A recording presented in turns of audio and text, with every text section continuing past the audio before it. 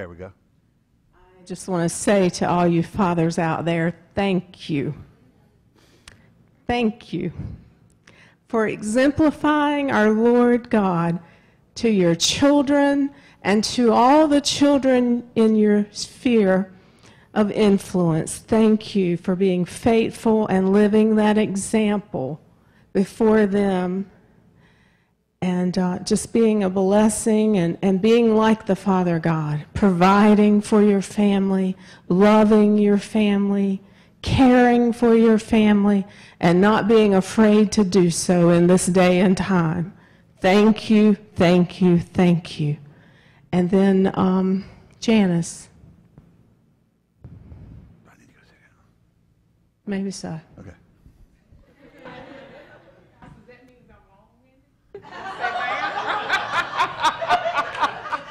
Let the church say amen. Good morning, everybody. I, I stand because I want to honor two men in my life. First, I want to honor my husband as being one of the best fathers to my son. And the reason I know this because I see it and you live it. Trying to get emotional.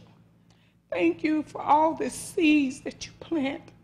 Thank you for being the head of our household, our protector, provider, and just thank you. And I want this, I, I told you, and I put it on Facebook, but I know you won't go in and look at it.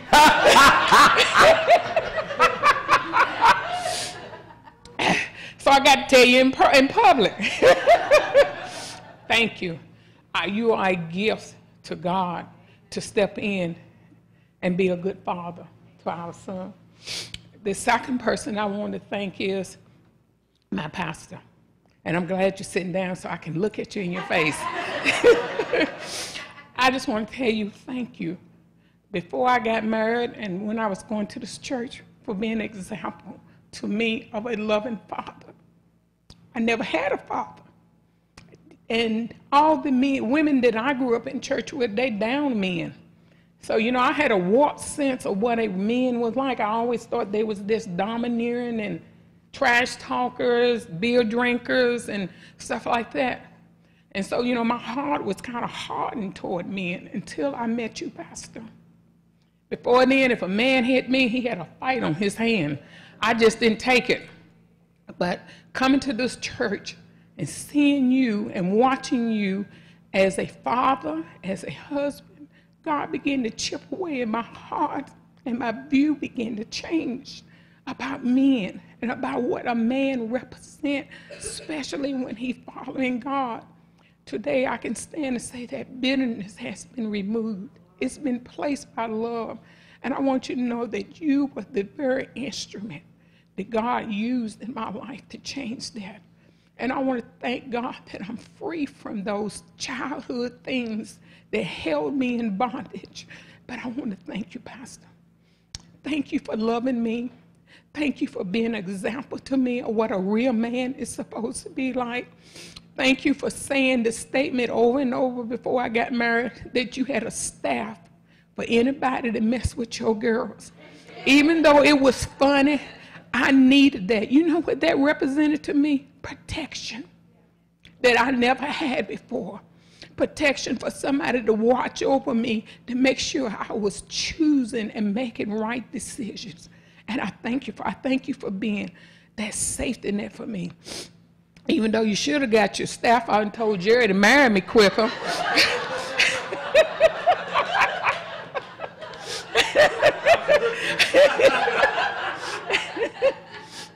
but we finally got the message. And uh, I just want to tell you, I appreciate you. I know you know I love you, but I want you to know it on this Father's Day. Thank you for being that example. Thank you for allowing God to use you to show me, a girl who had a warped sense of you, what a man of God and a true man was. And thank you to my husband. Thank you for being a father. Thank you for showing me every day what a father is supposed to be like to a child. Thank you. Thank you.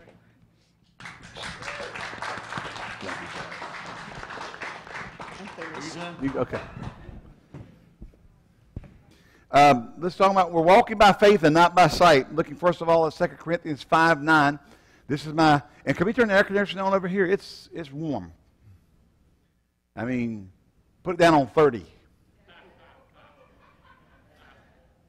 It won't go that low, but I just thought I wish I'd talk about it. We do have our lights. I got to get them installed. We, Vacation Bible School interrupted. We got more lights we can put out here so that when I get about close to that front row, I don't go into the dark. And um, so we're going to get that done. Hallelujah. If you like climbing ladders, etc., and helping hang stuff, and see me. and helping aim light. We got to do that. We got to get that done. All right. Um, we talk about walking by faith and not by sight. Our first point was that to be accepted, we must walk by faith. Remember, Hebrews 11 6 says, Without faith, it is impossible to please him, for they that come to God must believe that he is, and that he is a rewarder of them that diligently seek him. And one of the things we said about this was, when witnessing or ministering to people, it's not your job to convince them that, that, that, to accept Jesus. It is your job to preach the gospel, for they that come to God must believe that he is, and that he is a rewarder of them that diligently seek him. The responsibility is on the person, not you. Your responsibility is to preach the message. Theirs is to believe that he is, and that he's a rewarder of them that diligently seek him.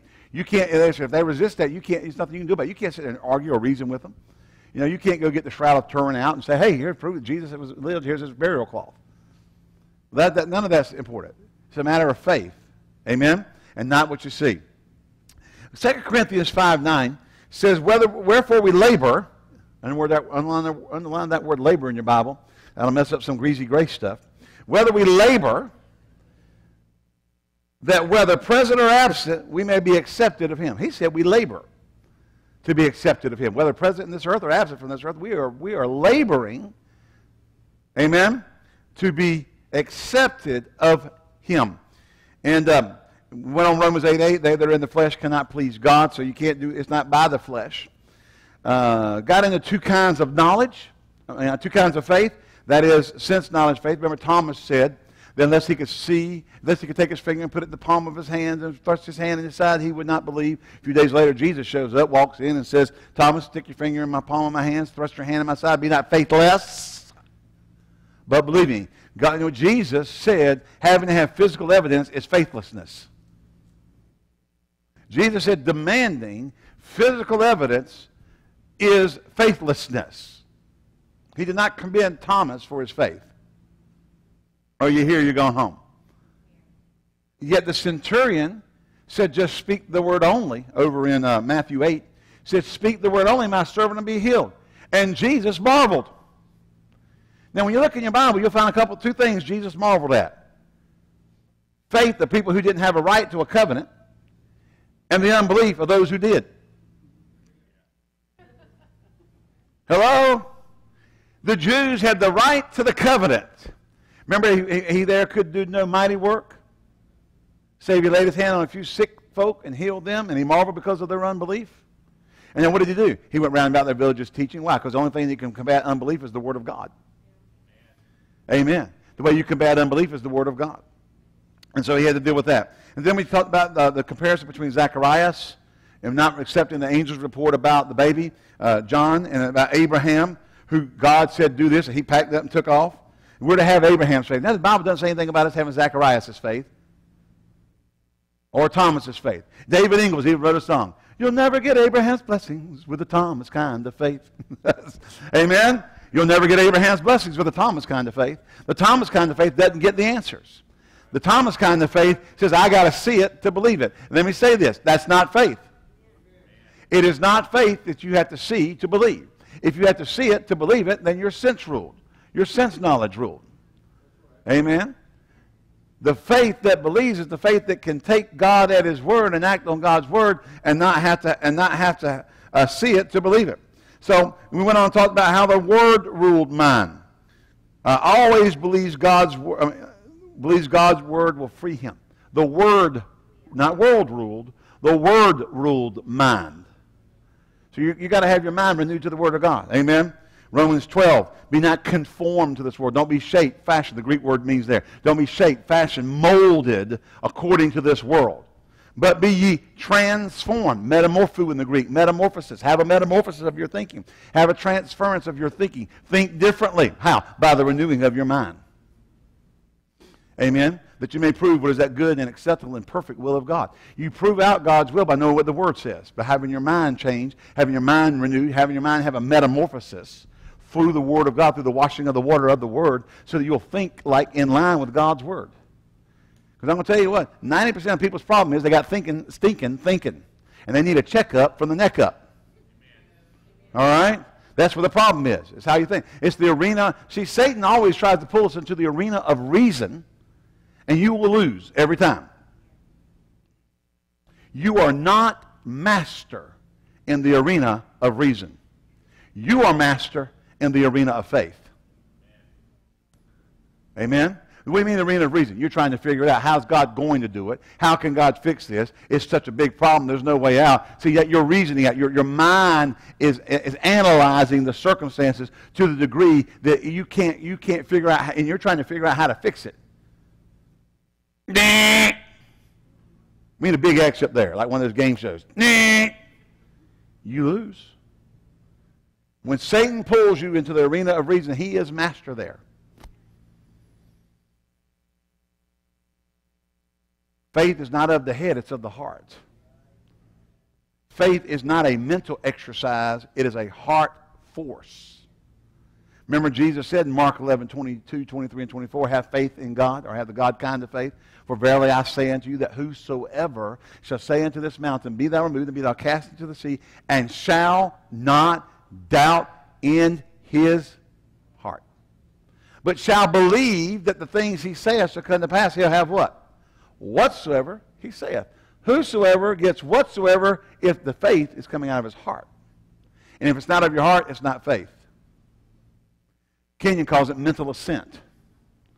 In other words, you mentally reason, okay, this is, you know, this makes sense. And so you mentally assent or mentally agree with it with your mind.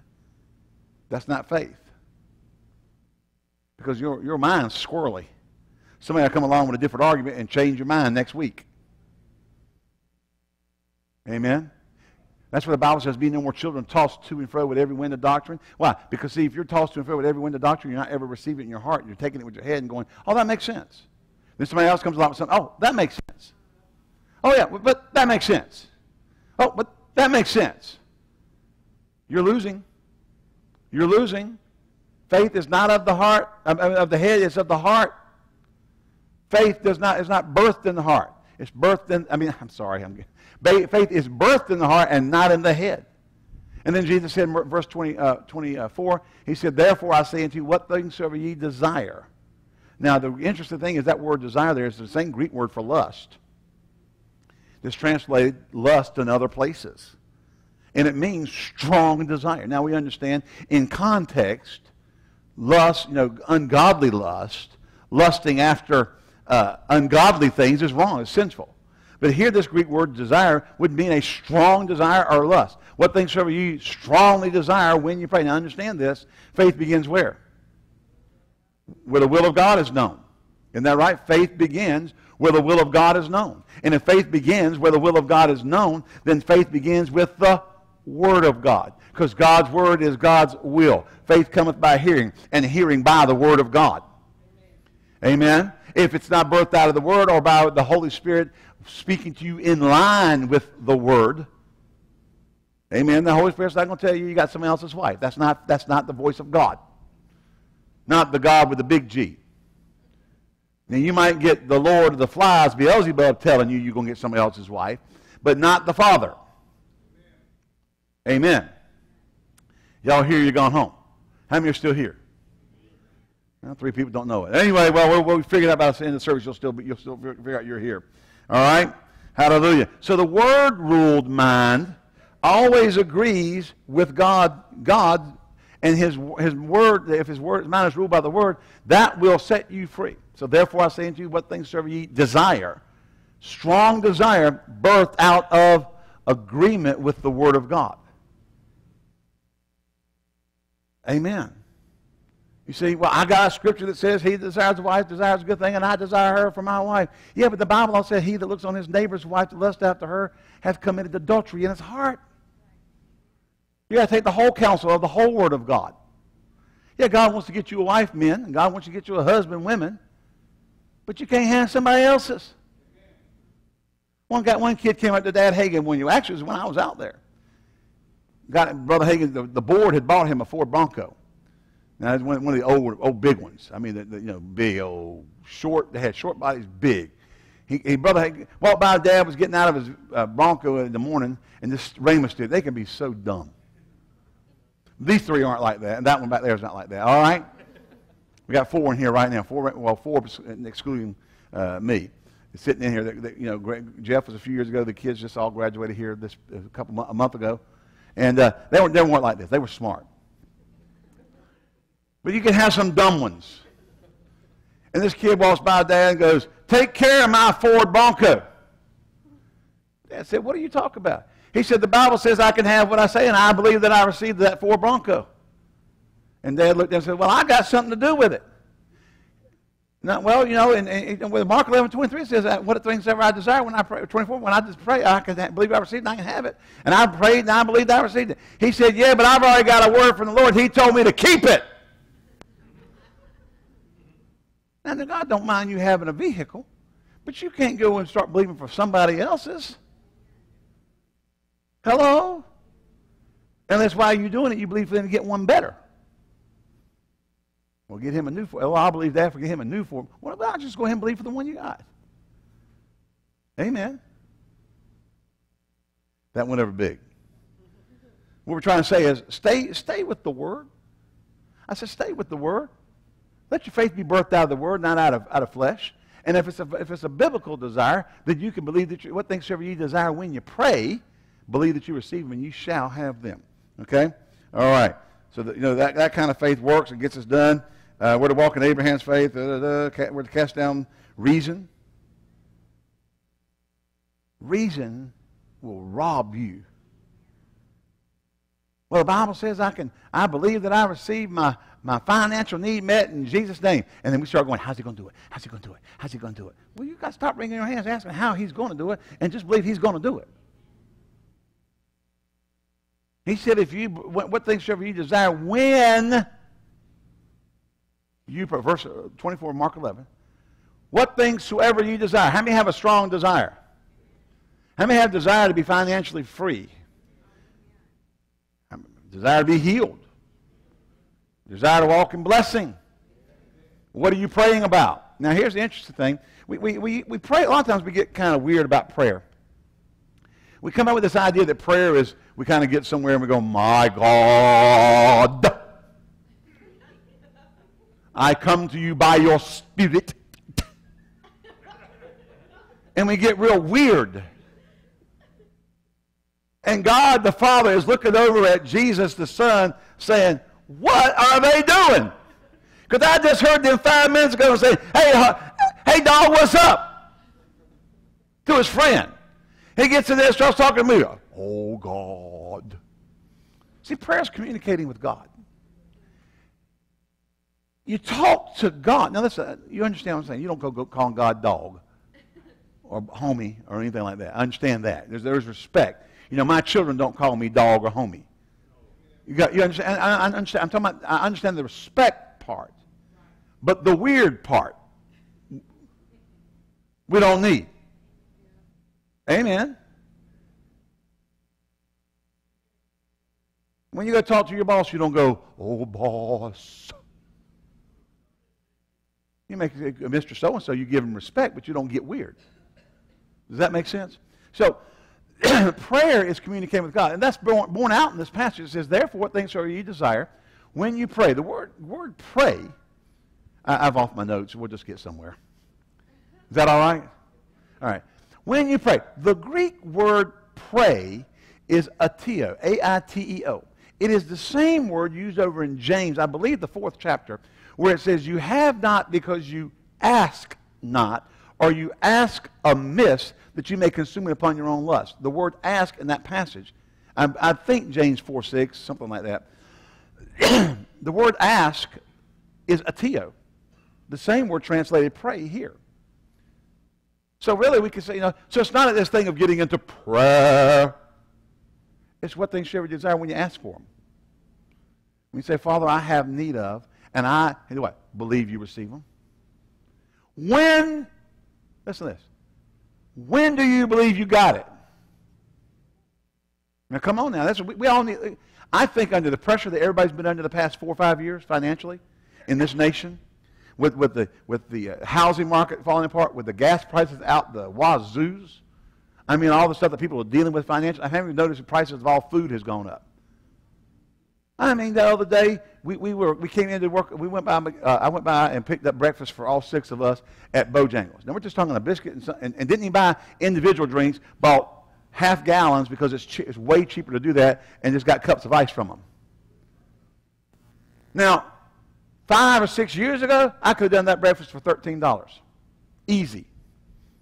Twenty-five dollars. I mean, you're sitting there going and you won't speak it in tongues. You're thinking, there's, you know, you got, steaks on sale are six ninety nine a pound. On sale. Everybody's talking about how low the gas prices are at three twenty nine a gallon. We got to Tulsa to pick the girls up, and while we were there, gas prices went up from three twenty nine a gallon to three ninety nine a gallon in four days. It's the week right before Memorial Day. 70 cents a gallon in four days. People have been under pressure.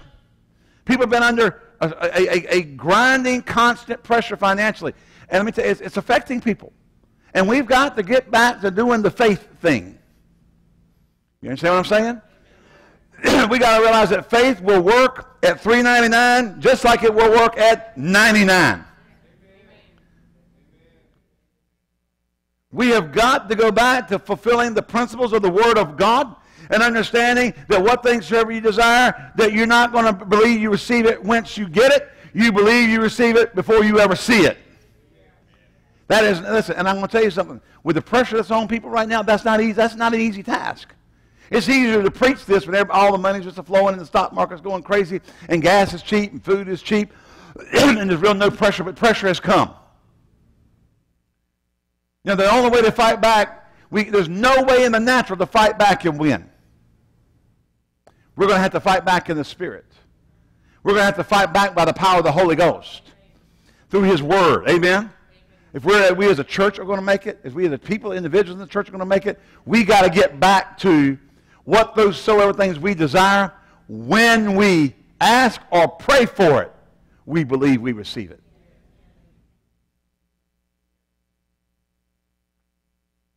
Don't wring.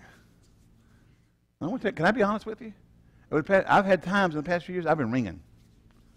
Laying down in bed at night, and I'm telling you, a devil walk in the room and get on your bed and slap you. I mean, not even just like kind of visit you, get up there and grab you around the neck and start slapping you. going under. And you almost want to go, yes, yes, yes, I am, you know. but we can't. Because I'm the head and not the tail. I'm above only and not beneath. Glory to God. I'm blessed when I came in, and I'm blessed when I go out. Hallelujah. I'm blessed in everything I set my hand to. Now, I'm going to tell you something. When you get slapped upside the head, that ain't the first thought. Are you here? Are you, uh, listen, it's a good fight of faith. It's a good fight. Listen, now, this is an extended bout. We mean extended bout. Usually most bouts are, are, are, you know, depending on what kind of fight it is, three, nine, twelve rounds. This is round till you win. God will just keep adding on another round. And keep adding on another round. And keep on adding on another round. What? Until you get it. Don't be a dummy. My parents always tell my dad every time we get ready to leave their house, they go, watch out for the dummies. And then his next statement is this, and don't be one. Watch out for the dummies and don't be one. I say, my, look, I'll keep it under 100. I promise not to have both hands off the wheel more than three or four seconds to finish my text message. Hallelujah. Praise God. Now, we have got to understand that the Word of God says, Jesus said, have faith in God. Have the God kind of faith that we're to believe out of our heart and say it with our mouth. And that what things soever we desire, whatever we want, whatever we long for. And I'm telling you, I know right here in this church, I guarantee you there are people who want to be debt free and financially free and free from the pressure of finances that are, that are crushing. Amen. We've got to go back. Now, I didn't say stay home and don't work. You know, quit your job. God, I'm under grace. God's going to take care of me. No, that's under dum dum. That's, that's, that's called radical stupidity. Come on, guys, like that. Radical, radical dum dum. You know, people, well, I'm in the radical grace. No, you're in the radical dum dum. That's not what the Bible said. Are you here? but we have got to get back to where we're looking at the circumstances and we're not crumbling under them. We are coming at them and, the, and saying, just like David. Remember that? Remember that? Remember Goliath? Goliath came to me and said, who, is, who am I that you would send out this ruddy youth against me? I will feed, listen, he said this. He said, I'll feed your carcass to the fowls of the air this day. That's what Goliath said to David. David took up the sling and the stone, and he began to charge Goliath. I mean, he's a, can you, he's just like Emma Lee. Emma Lee, he's, he's running at him. And he says, you come to me with a sword and a spear, but I come to you in the name of the Lord of hosts of Israel. Glory to God. He said, this day I will feed your carcass to the fowls of the air. And he let that stone go, and it, I mean, took him right out. Lucky shot. Nope. David wasn't sure. He had four extra stones. Goliath had four brothers. Read your Bible. He had four brothers. David didn't carry five stones in case he missed four times. He was prepared to take them all out that day. I mean, the, the, the heritage of Gath was going out that day. Going to take them down. Then he got so excited about the celebration, he forgot. Then it took him the rest of his life to get that. But he ended up killing all four of the other giants. One of them was six fingers. He don't have a name, just a six finger giant. I'm looking for the six fingered man. okay, you got to be a Princess, Princess Bride fan to hear, understand that one. You're the six fingered man. All right. Prepare to die. All right. How many have ever seen The Princess Bride? Okay, how many have never, never seen it? Don't. You'll actually start to like it after a while and you wonder what's wrong with you. All right. I, I remember the first time I saw it, I went, that's the dumbest thing ever put in the film. And now I like it, and I'm, I'm going, what, what's happened to me? I've morphed. But David came out. Goliath said, I'm going to, the devil will tell you, I'm taking you down. I'm going, I'm, I'm to destroy you. But you just stand up and say, You come to me with all your garbage, but I come to you in the name of the Lord of hosts. Glory to God. This day you will be defeated in this arena in my life. Glory to God. I will not be defeated. I will not quit. Glory to God. I am going to be, I am a winner. I have the faith that overcomes the world. Hallelujah. and you're going to have to start looking at them bills. You've been looking at them. But you're going to have to look at them different. See, you've been looking at them, they've been talking to you. You're going down, dude. You're going to have to still start looking at him and say, I am a child of the Most High God. And if I'm Christ, then I'm Abraham's seed. And I'm an heir according to the promise thereof.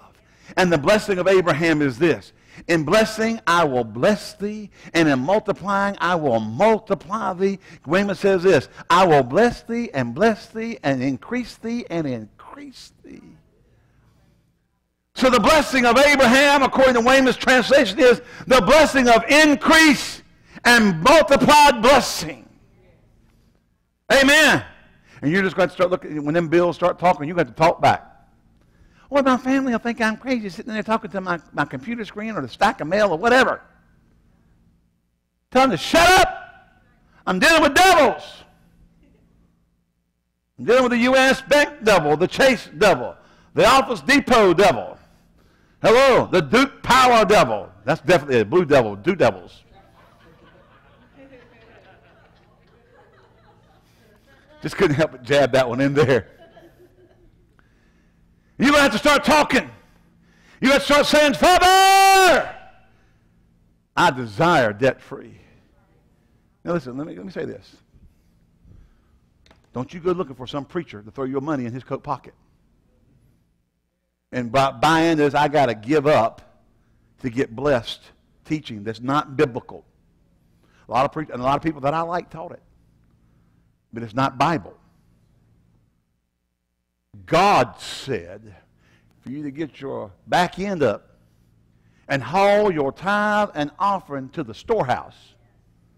Didn't say to some preacher's coat pocket. I know I'm getting, kind of getting that. Well, we, we're Western this week. right on in. Hallelujah. Bring, bring ye the tithe and the offering to the storehouse and prove me now herewith, saith the Lord of hosts. I like Malachi. These are the Italian prophet. I know it's Malachi, but I call it Malachi, the first Italian prophet. All right? He says, one, one thing he says there, he says, wherein have you, he says, you've robbed me. See, we got people sending their money all over the place and never taking it to their church. And God said, bring it to the church. Yeah, but I'm, I'm partners with so and so on a monthly basis. Not until you've brought your tithe and offering to the church. Now, what you do after that's your business, but the other part, God said, do this with it.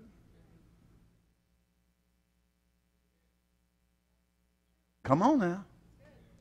Yeah, I watch Christian television. Everybody asks for money. I send it to them. I just don't have any left over from my church. You're, you're missing God. God said, You rob me and even this whole nation. How? In tithe and offering.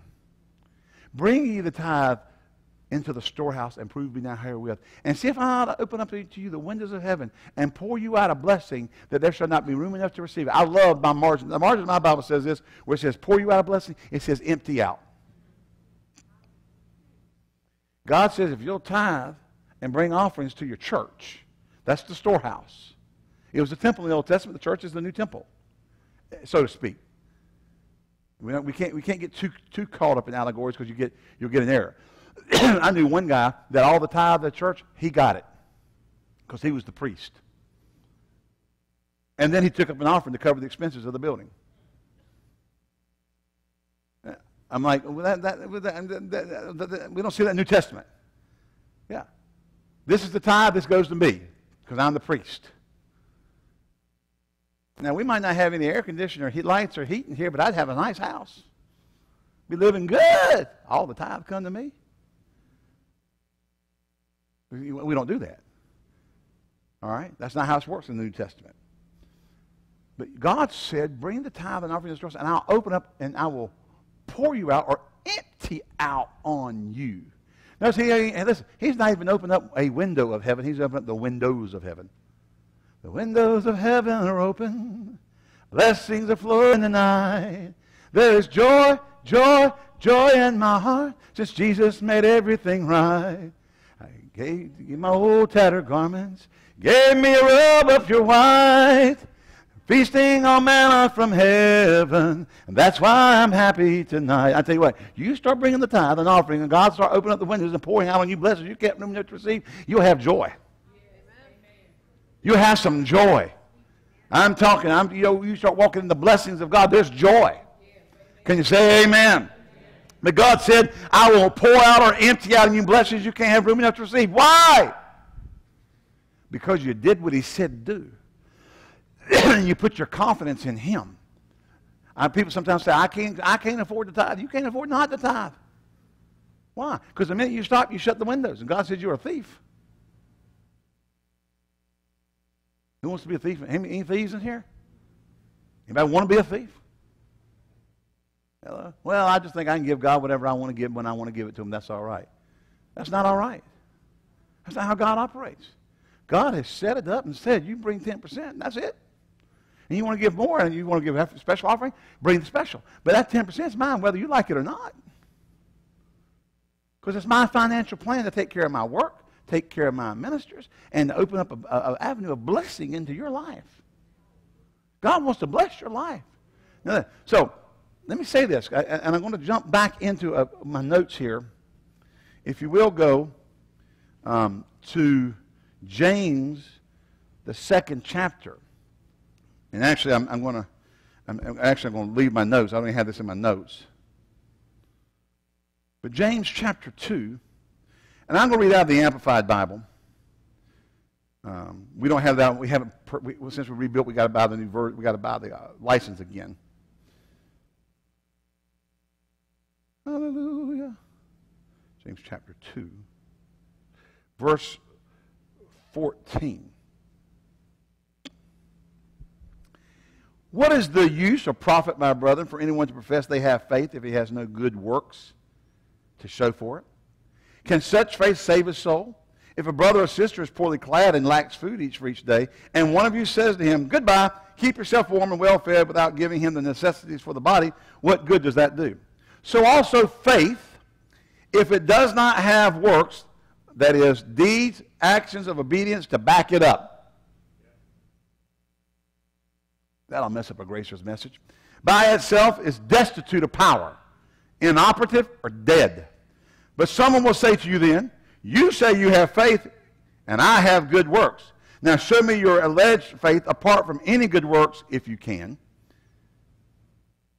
And I, by good works of obedience, will show you my faith. You believe that God is one, you do well. So do the demons believe and shudder and terror and horror. Uh, and makes a man's hair stand on end and contracts the surface of the skin. Are you willing to be shown proof, you foolish, unproductive, spiritually deficient fellow, that faith apart from good works is inactive and ineffective, ineffective and worthless? Then he goes on to talk about how Abraham was justified by his works and not by his faith alone. When, when Abraham offered up Isaac, it was accounted to him for righteousness. In other words, the works of his faith, the actions that are a result of faith. That's what he's talking about, these works here. well, Paul says, you know, that, that we're not justified by works. Talk about two different things. you got to be a little bit better student of the Bible. And I'm talking to people who go around and teach this. You know, Paul said that we're not justified, I mean, that, that, that works, that we're not justified by faith, that if we go back into works, we're, we're foolish and so forth. James tells us we're justified by our works, and they're talking about two different things. if you will read Paul in context, he's making a reference to fulfilling the Levitical law in order to obtain righteousness. You cannot. It, when Paul refers to works, he is talking about the works of the law to obtain a standing with God. You can't do it. James, on the other hand, is referring to the fact that your faith has already saved you and that the faith you have will produce actions that correspond and demonstrate the faith you have. Now, if we go over to the 11th chapter of the book of Hebrews, hello, Hebrews 11. It says here, um, let me get out. Let me get back to King James. It's easier to read this than King James. Okay. Now faith is the substance of things hoped for, the evidence of things not seen. Now, through faith we understand the world were framed. By faith Abel offered. By faith Enoch was translated. By faith Noah, being warned of God, moved. By faith Abraham, when he was called out, went. By faith he sojourned. He looked for a city. Through faith also Sarah received. Therefore, spring, uh, the, these all died in faith. Hallelujah. And, and, and, by faith Abraham, when he was tried, offered up Isaac. Um, by faith Isaac blessed Jacob and Esau. By faith Jacob, when he was dying, blessed. By faith, Joseph, when he died, made mention of the departing of Israel concerning his bones. By faith, when Moses was born, his parents hid him. By faith, uh, Moses, when he was come to years, refused to be called. Um, let's see. By faith, he forsook Egypt. By faith, they passed through the Red Sea. By faith, the harlot, uh, harlot Rahab perished not. And what more shall I say? For the time when it would tell me of uh, Gideon and Barak and of Samson and Jephthah and David also and Samson and the prophets who through faith subdued kingdoms wrought righteousness, obtained promises, stopped the mouths of lions, quenched the violence of fire, escaped the edge of the sword, out of weakness were made strong, waxed valiant in fight, turned to fly the armies of the aliens, women received their dead raised to life again, others were tortured, not, not accepting deliverance, that they might obtain a better uh, resurrection. Others had cruel mockings and scourgings, yea, more of bonds and imprisonment. They were stoned, sawn asunder, tempted, slain, wandered, of whom the world was not worthy, and all these obtaining a good report through faith, and received not the promise of redemption. Let me say this. Here, here, did you notice about everything it said through faith something happened? There was an act, there was some kind of action that followed through faith or by faith. Not one time did it say, by faith, they laid down and just sat under the grace of God and looked at the finished work of Jesus. Now, did it? You're mocking the, no, I'm not mocking the finished work of Jesus. I'm talking about people who've misinterpreted the finished work of Jesus. Faith does not put you on the couch and go, well, it don't matter what I do today if I sin, if I don't sin. It don't matter if I give or don't give. The blessings are going to come on me. I'm going to prosper no matter what because Jesus did it. I'm going to get this no matter what because Jesus did it. And the Bible's examples of faith, every one of them, they did something in response to the faith they had. It drove them into, their faith drove them into acts of obedience to receive.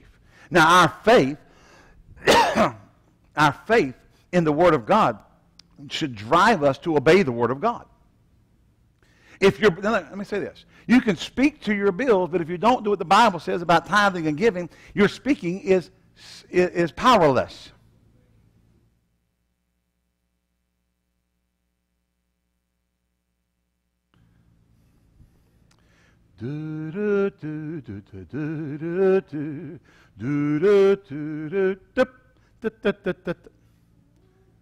Speaking, when the Bible tells you to do something, and oh, I'm going to do well. Uh, I'm blessed. I'm under grace. I'm going to get it. I believe that I receive. And you just sit down and do nothing. It doesn't work that way.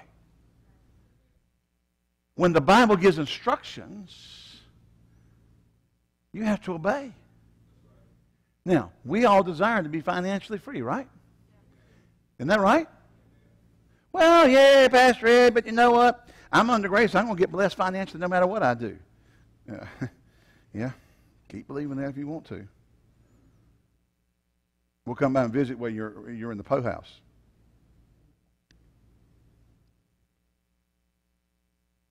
Amen.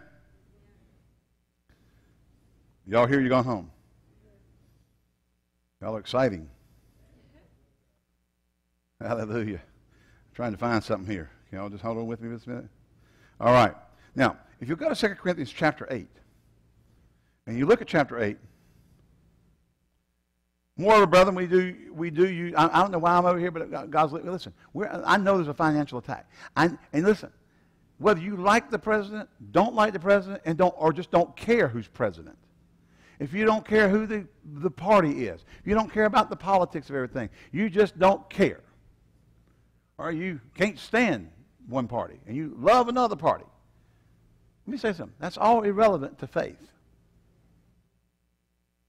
Now, as a citizen, a godly citizen, you're, you, are to, you are to vote and to do things righteously. And then things fall as they fall. But you have a responsibility to follow after righteousness.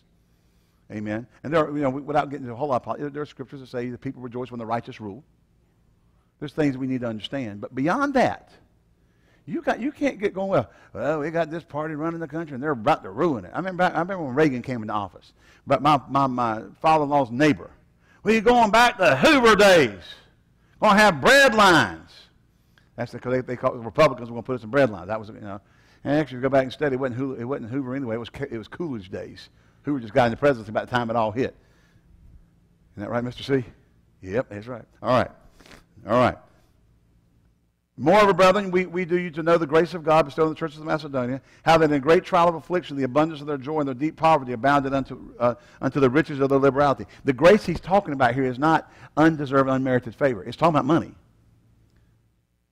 And although I know you can take the, the, the, the, word go, well, that means unmerited, undeserved favor. But if we study it in context, the word carries, they're talking about money. This grace was, was giving. It was giving grace. Amen. For to their power I bear record, yea, beyond their power they were willing of themselves. In other words, they, were, they, they gave even beyond what they could give. And this they did not as we hoped, but first gave to our, themselves to the Lord and to us by the will of God, insomuch that we desire Titus, that as he had begun, so he would finish also in you the same grace also. Talking about giving. Therefore, as you abound in everything in faith and utterance and knowledge and all diligence and in your love, see that you abound in this grace. Not talking about grace, undeserved, unmerited favor. It's talking about this giving. Also, speak not by commandment, by occasion, the forwardness of others, to prove the sincerity of your love. For you know the grace of our Lord Jesus Christ, that though he was rich, for your sakes he became poor, that through his poverty you might be rich. Now, we're going to jump over to chapter 9. And the reason I am, because he continued, I just want to show you what he's talking about in chapter 8. He is talking about this. He does not stop when he gets to chapter 9. He goes on. Now, as far as touching the ministry of saints, it is superfluous for me to write to you. For I know the forwardness of your mind, from which I boast of, of you to them of Macedonia, that Achaia was ready a year ago, and that your zeal has provoked very many. Yet I have sent the brethren, lest our boasting of you should be in vain in this behalf, that as I have said, you may be ready. Lest happily, if they of Macedonia come with me, in fact, remember he was over there in Macedonia talking about what? The grace they had of giving. If, they, if those folks come with him to this group, you should be ashamed in the same confident boasting. Therefore, I thought it necessary to exhort the brethren that they would go before unto you and make up beforehand your bounty. It's a gift of money, whereof you had noticed before the same might be ready as a matter of bounty and not of covetousness, a gift. This, now let me say something here. If you believe that you're under grace and that you're going to get money no matter what you do, stop listening. Because I'm going to mess up your theology with this one verse. And if you don't want to hear, if you don't want to hear the word of God, and you don't want to be tra- transformed by the word of God, and you don't want the word of God to change you and be the sole foundation of your life, stop listening because I'm going to mess up your theology. But this I say, but talking about money for two chapters now. He that soweth sparingly shall reap also sparingly, and he that soweth bountifully shall reap also bountifully. Every man according to the grace of God. Come on now, you're supposed to call that. Every man according as he purposes in his own heart, let him give, not grudgingly or of necessity, for God loves a cheerful giver. And God is able to also, uh, and God is able to make all grace abound toward you, that ye always have having all sufficiency in all things may abound to every good work. Now, let me say something here. You can't run in there and take verse 8 out and run off with it. Because verse 8 followed verse 6 and 7, and the word and is there. It's tied to the other. It is a conjunction. And is a conjunction. It ties thoughts together. He didn't start another you know, a little, little editor. Am I right? You sow sparingly, you reap sparingly, according as you purpose in your heart, and, in other words, in response to how you purpose, how you sow, God is able, able to make all grace abound toward you that you always having all sufficiency in all things may abound to every good work. That does not stand independent of those other scriptures. And this is where people um, data mine the Bible to find scriptures that support their doctrine and take them out of context. You can't do that. If you're going to have a faith that changes things, it's going to have to be on the counsel of the Word of God. Now, here, what I'm after is this, and then he goes on and says this, uh, as it is written. See, understand, as, as it is written, this is, is in brackets here. The reason is, it is a sub-thought to the statement just made. In other words, you could jump over that and go, being enriched in all bountifulness, which causes to us thanksgiving to God. But he jumped in there and put a side thought. In other words, uh, he kind of went like this, being sufficient in all things. Now let me say this in relation to that. That's really what this is meaning by the, by the punctuation marks. And, and I need to tell you this in relation to that, as it is written. He that is first abroad hath given to the poor.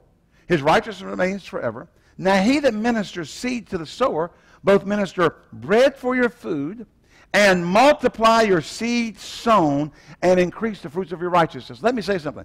The grace of God here is not that you're going to prosper. I'm talking about the undeserved, unmerited favor, the grace that you're going to prosper. The grace of God here is not that you're going to prosper no matter what you do. The grace of God here is this He's ministered seed to the sower.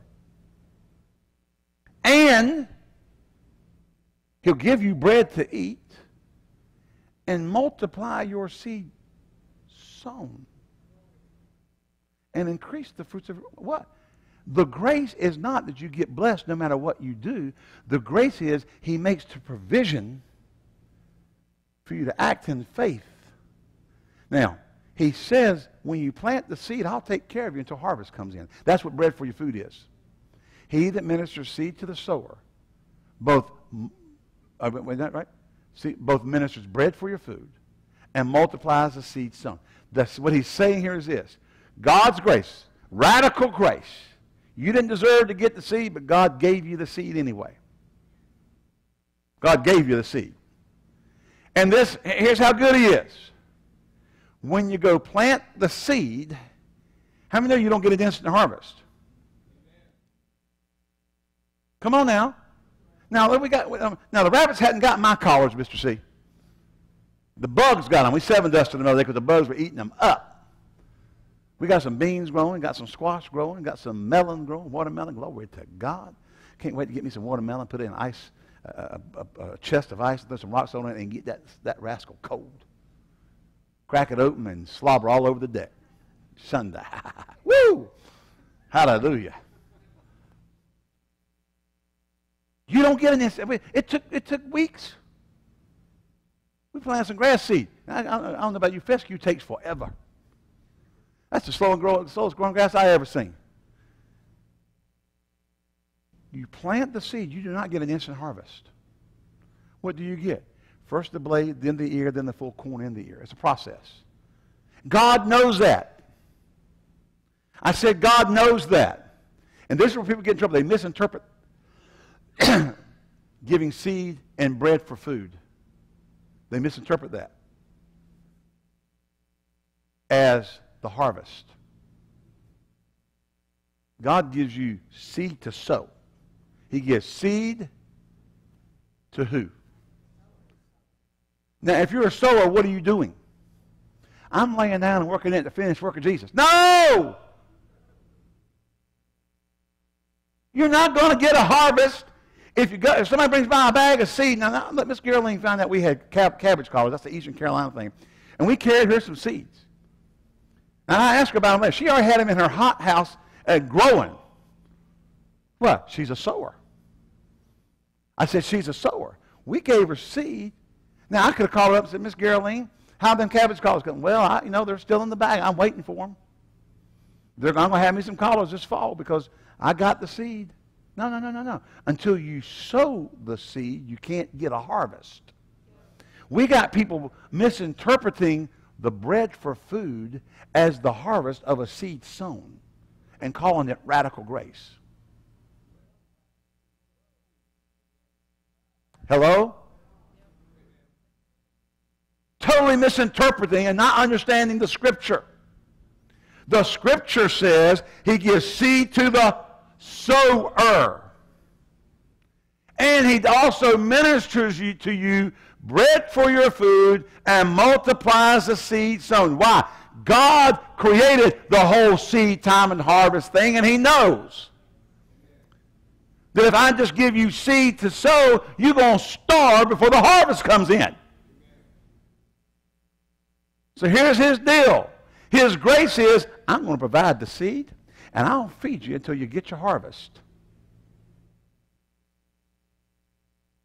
Amen. But you got to sow the seed. Because if you don't sow the seed, you're going to run out of the bread for food because that was a temporary blessing until you got harvest. Y'all hear you're going home? That's how it works. And you got people running around teaching churches and teaching people that you just lay down and let the seed sit on the sideline and eat the bread for food and teach everybody that it's their harvest of grace. And that's not Bible. History, uh, history tells us that Jews, when they were traveling, they would go out and take seed and throw it on the river during the flood season. And then when the river subsided, that seed was left in that, that real fertile silt And when they arrived, by the time they got there, they had a harvest waiting on them. They were casting their bread on the water. Are you here? They were making provision for the future. And when you start eating your bread as your harvest and letting your seed sit on the sideline, you're going to run out. And you think, "Oh, look how God blessed me. Hallelujah. I'm a faith man. I just got blessed. No, no, no, no. You don't understand. There was a grace on your finances where God gave you seed to sow. We always say this don't eat your seed. Don't go make rye bread out of your Bible faith seed. Are you here? God's going to sustain you till your harvest comes in. But if you didn't plant and it's harvest time and your bread runs out, you're in trouble. Because now you got to go plant and you don't have anything to eat while you're waiting for harvest to show up. Don't misinterpret something.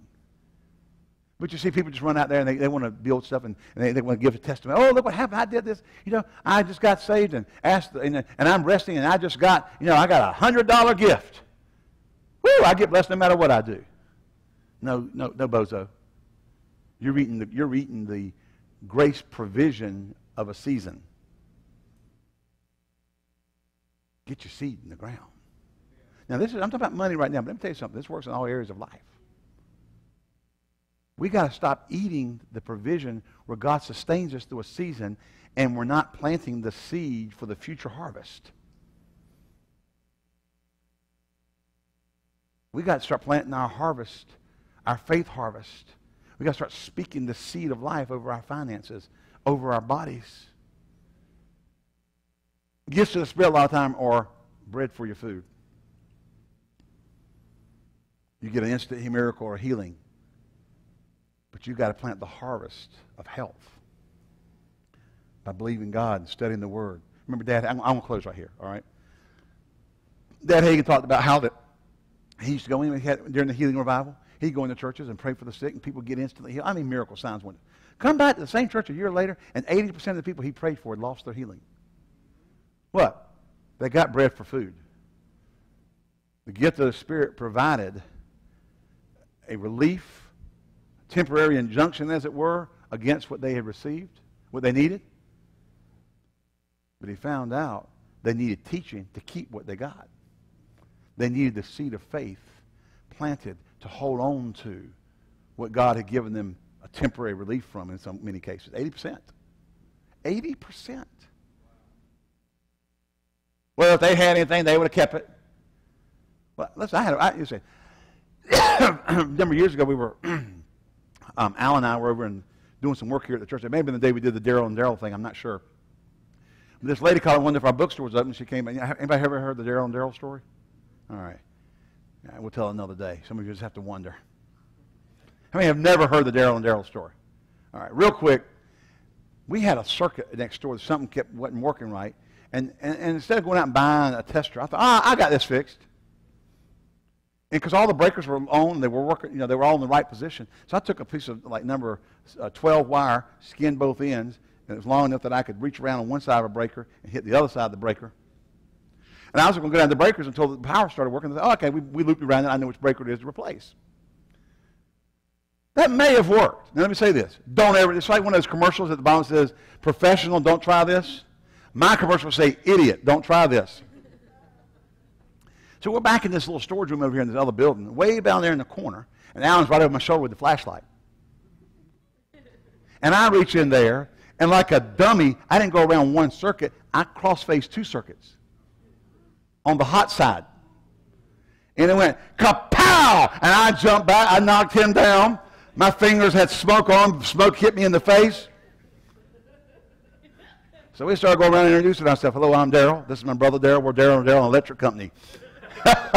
Remember the Bob Newhart show? Larry and Daryl and Daryl? Daryl and Daryl Electric Company. Dumb, but you know, here's, here's the funny thing. It fixed it. Whatever was wrong, we, have, we haven't messed with it since. It still works. now that's called grace on stupidity. Oh, my, my, my, my, my, my, my. Hallelujah. Daryl was over here the other night. They came to Vacation Bible School. Daryl and Daryl. Let- Oh, anyway. Where was I? Lady Bookstore. Has Lady call us up. You know, and she and, and they, she, she was bringing a friend that came in, and the woman was talking. You know, I, I. You know how deaf people talk. Well, she was talking to us. She said a few, a couple years earlier, she had been to a service and instantly healed, heard perfectly for a week. Woke up one morning and it was gone. Don't tell me things like that don't happen. What was the problem? Everybody's depending on the gift, the bread for food, instead of sowing the seed. Thank God for the bread for food to sustain you until you can get the harvest to, to, to live off of. The seed to sow is to be sown for your livelihood, to live off of. In any arena, health, finances, whatever. That seed sown is to be where you live from. The bread for food is to sustain you till you get the harvest. So the gifts, gifts of the Spirit many times are like bread for food. They can hold you until you get into the Word and get, because a lot of times people aren't in a place to get a hold of the Word. They're in such pain or whatever, they need to get a hold, they need a relief so they can get into the Word. Let me say this. If you get supernaturally healed by God, you better get in the Word. Because it reminds me of the story that Dad used to tell about the woman that came to him one day, man came to him one day and said, Well, um, you don't have it. I said, What are you talking about? He said, Well, I've been in your healing line twice, and, and you've laid hands on me, and I, had, and I hadn't got healed. Now he says, Now, uh, McPherson used to have it, but she lost it. I said, what are you talking about? I said, well, a number of years ago, I was, uh, I, was, I, was, I was dealing with this, and, and I went to, went to Aimee Semple McPherson's meeting, and she laid hands on me, and I got healed. A few minutes later, I lost it, so I went back to her meeting. She laid hands on me, I didn't get it. So she had it, but she lost it. Then I went over to Jack Coe's meeting. He didn't have it. Now, McPherson had it, but she lost it. And after that, I went over to Branham's meeting. He prayed for me. Now, Branham didn't have it. Coe didn't have it. Now, McPherson had it, but she lost it. I went over to Oral Roberts. He laid hands on me. Roberts don't have it. Coe don't have it. Branham don't have it. Now, McPherson had it, but she lost it. And he goes, he says, and he goes through all the healing evangelists. He's been to all of them. Went over uh, Raymond T. Richey's meeting. Richey didn't have it. Roberts didn't have it. Coe didn't have it. Branham didn't have it. McPherson had it, but she lost it. He said, No, I've been in your line. You don't have it. Goes that, that whole thing. He said, Oh, I can help you. He said, The first time you got it was a, was a manifestation of the gift of the Spirit. The second time, God expected you to get it on your own faith. He said, you come to the morning service and let me hear me teach? And he was teaching on faith. He had, remember, remember, Dad Hagin went and started having uh, healing crusades at night, camp meetings at night, but in the morning he taught on faith. He said, You come hear me teach. You come at least for a certain number of days to the meetings and hear me teach on faith. Man came to healing sometime one or, one or two weeks later or whatever. Came up to him and says, I got it. He said, You lay hands on me, I'll receive my healing right now in the name of the Lord Jesus Christ. He said, I understand what you're talking about. But see, the first time was, let me, let me use the, the, the, uh, the allegory I'm using here from this morning from this passage. The first time McPherson laid hands on was bread for his food. Everything else, God was expecting to sow seed to get a harvest, to live out of faith in the Word of God and not a dependency on somebody providing you bread for food all the time. Can you say amen?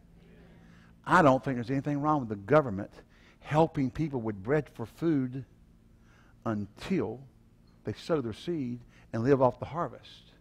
Now, when you've got three generations living off the bread for food, it's going to run out.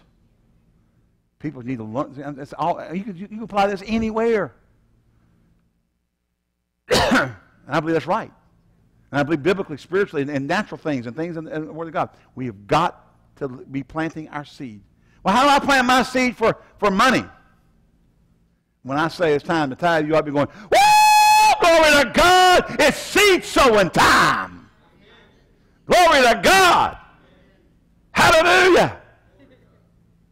And don't get so dumb because you got some money in the bank and you're not sowing seed. Well, I'm blessed and I don't have and I have been given. It's bread for food. It's temporary. It's a temporary grace.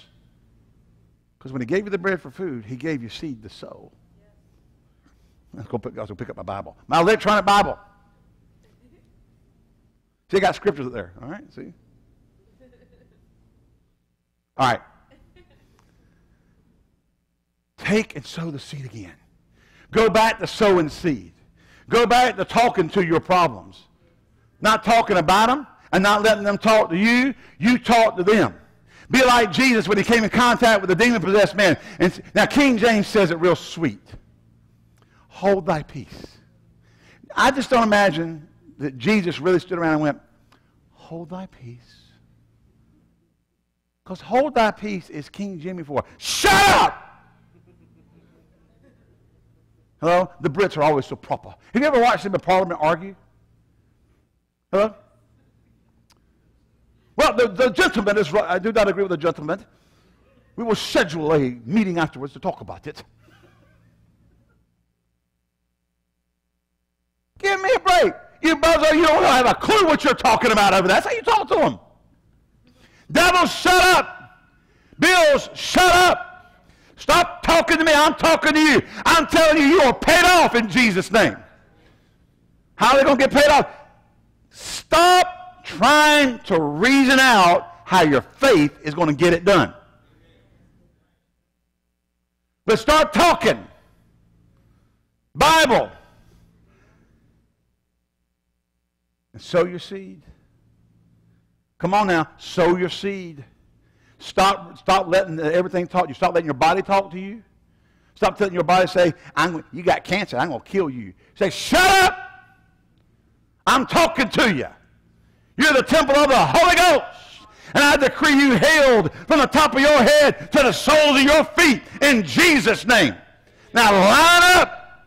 Whatever, what happens? He opens his mouth again. Tell him to shut up. And tell him what the Bible says. Amen.